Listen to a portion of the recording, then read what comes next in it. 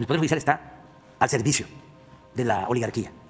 Porque lo que había en México, eso lo tengo muy claro, y lo puedo fundar teóricamente, no era una democracia, era una oligarquía, con apariencia de democracia, porque no dominaba el pueblo. Y en México dominaba una minoría.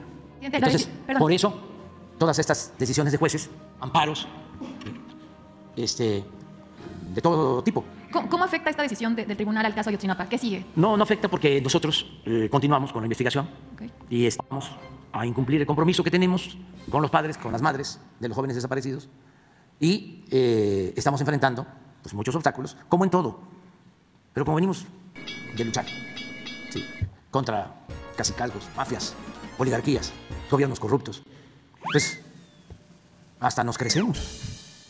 Como decía, decía Ponciano Arriaga, entre más me golpean, más digno me siento. Además, es todo un desafío. o sea, y me siento muy fortalecido porque eh, no estamos solos, somos millones.